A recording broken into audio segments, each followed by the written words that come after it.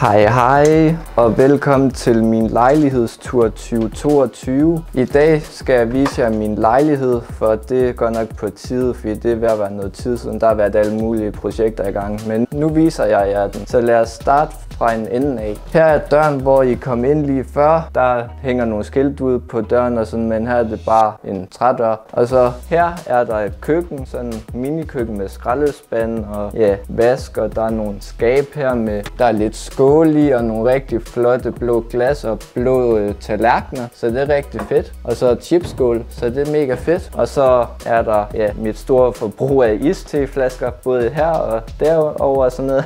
det drikker jeg rigtig meget af. Og så er der ja, bestik og alt sådan noget her i. Og så kogeplade, den er ikke lige sat til. Og så her er der et skab med noget medicinhalløj, som der er låst ind. Og så M-head, som man trækker ud og så tænder den. Og så er der bare køleskab eller fryser og køleskab med lidt billeder på. Og ja, der er mus og rotter herinde.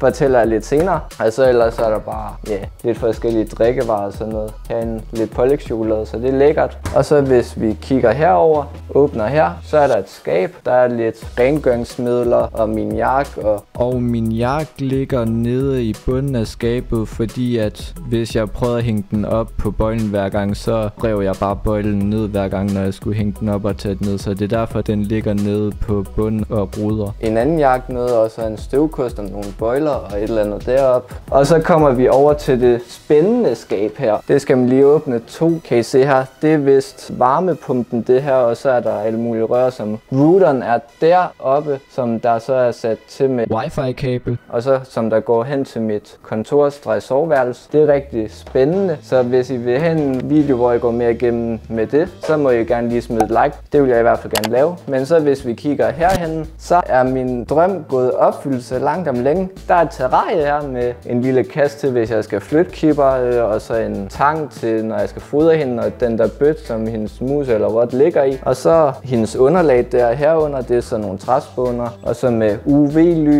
og sådan en varmemod her, så det er rigtig fedt. Og så ligger kipper herinde i det lille skjul, hvis man kan se noget, så det er rigtig fedt. Her for nyligt, så er der lige blevet opgraderet lidt med noget klatrehalløj, noget, og så en større hul. Og så fik jeg et kranje til, at hun kunne, kan kravle ind igennem og ovenover, når her i julegave. Men hun er ikke så aktiv lige nu, fordi hun er i hamskifte, så hun, nu skal hun bare fuldstændig fred og ro, så det er rigtig fedt. Så nu skal jeg lige holde øje med, når hun bliver større, fordi at de kan godt sidde fast i de der kranier og få hambetændelse. Så det er jeg jo overhovedet ikke interesseret i, så ja. Men så hvis vi kigger herover, så var jeg jo i Legoland en gang med nogle lidt forskellige fra mit bosted, og der købte jeg sådan en Lego-ting. Det går ikke særlig godt med at få den samlet. Og så ellers så har jeg nogle film, som Tan Ninja, den store samling, og lidt flere ting her og sådan noget. Og så ellers så er der bare nogle ledninger og sådan noget herunder, det er ikke så spændende. Og så mit 47-tommer TV fra Toshiba, og så DVD-afspilleren Blu-ray DVD-afspiller. Jeg har tre Blu-ray-film, så det er fedt. Og så her ved siden af, der har jeg min opslagstavle med alle mulige billeder fra mit liv og alt muligt, så det er fedt. Førhen så sad den derhen, hvor terrariet det står nu, men det gav ikke nogen mening, den stadig er der, fordi så ville jeg ikke kunne se hal- halvdelen af opslagstavlen. Så den er kommet op for en måned siden eller sådan, fordi da jeg fik terrariet med kipper, der var det jule, så der kunne jeg ikke rigtig få det op, fordi der stod et juletræ.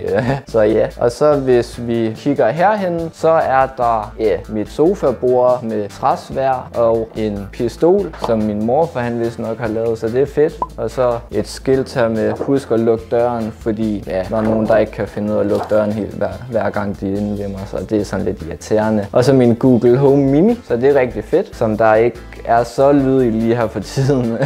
og så ellers så er der et billede, som jeg fik på dengang jeg stoppede i min fritter solsikken. Og så et kæmpe billede af to hunde fra, som min gamle aflastningsfamilie har havde. De har stadig den lille, men den store har de desværre ikke mere. Ham var jeg mega glad for. Ham blev jeg overfaldt af, hver gang jeg, jeg kom hjem til dem, så det var sjovt. Og så er der min røde sofa her, som jeg har købt i IKEA. Den er mega fed. Og så selvfølgelig, fordi jeg elsker slanger, en tøjslange, som min mor hun har strikket for mange år siden. Den mangler lige et øje.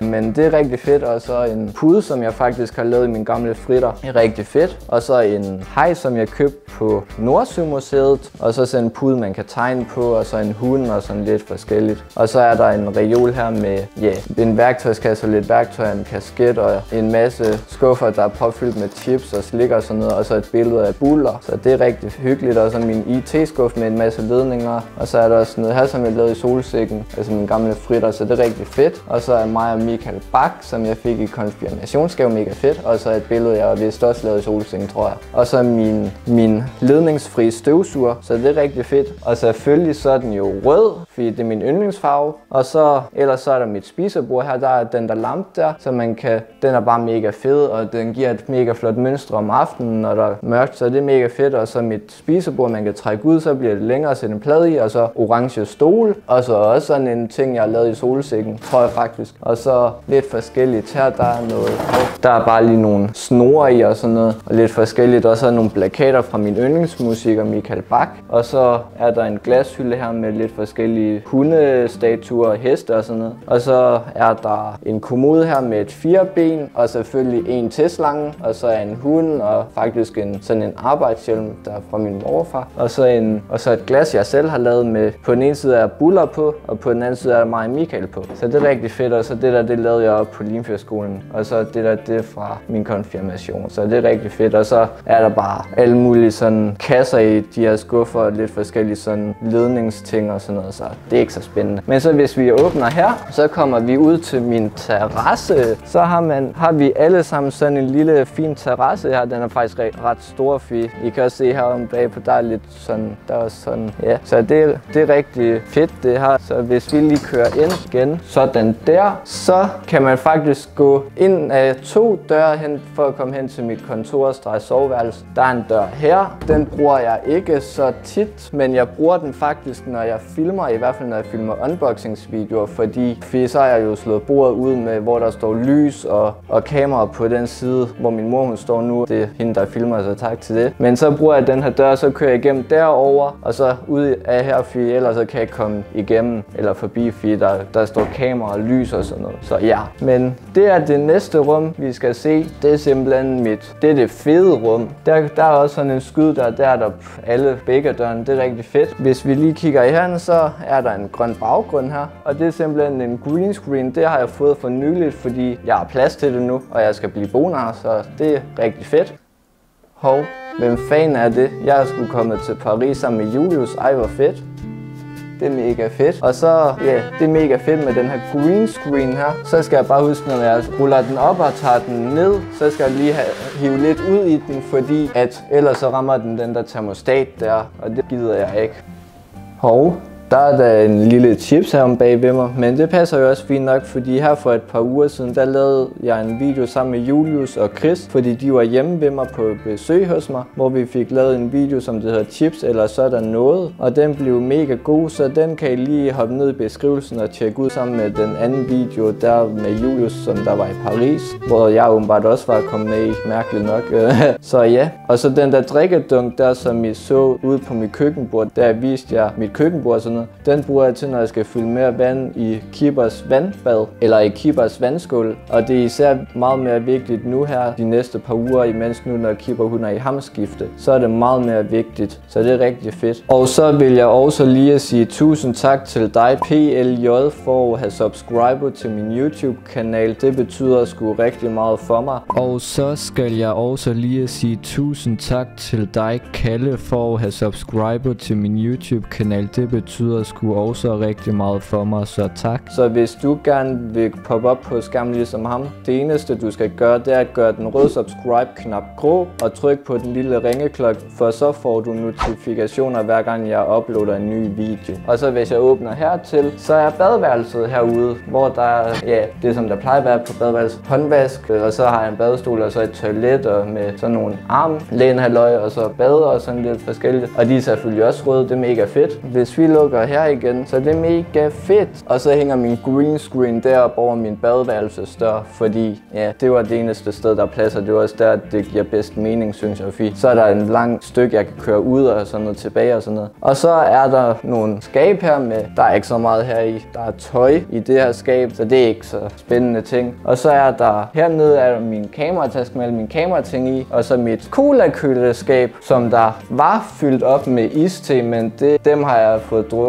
næsten alle sammen af. Det var de der kasser der, jeg viste jer lige før med de tomme kasser. Det der, de ryger hen. Og så er der mit skrivebord her. Jeg har to skrivebord, men det her det er mit hvide skrivebord, jeg havde i Lykstør, også dengang jeg boede hjemme med min mor. Sådan med MacBook og lavede mig være jeg optager skilt, og sådan en gun, jeg vandt i LaLandia, der skyder med skumpil, så det er rigtig fedt. Og selvfølgelig, nej, jeg bog, hende mødte jeg jo her for nogle måneder siden, så det er rigtig fedt. Altså min Sonos højtaler, og så SD-kortlæser, og selvfølgelig min flot rød væg som jeg langt om længe har fået, så det er rigtig fedt. Og så hvis vi kigger herhen, så er mit gaming setup her med computer og tre skærme. Jubi, der har jeg kunne få efter jeg flyttede. Og så webcam og så ring light, så jeg får godt lys, når jeg optager. Og så det her, det er for nyligt tilføjet et ny mikrofon, fordi min gamle den gik i stykker med ledningen. Og så min mixerpult her, der kommer en hel video med det med mit setup. Og så rød LED-lys, det ser rigtig fedt ud. Og så en ny musemod, kæmpe musemod, det er også nyt. Og så som I kan se, så er jeg kommet op på 400 180 abonnenter. Så det er mega lækkert. Så hvis du ikke har subscribet, så gør mig lige den tjeneste at gøre det, som jeg kan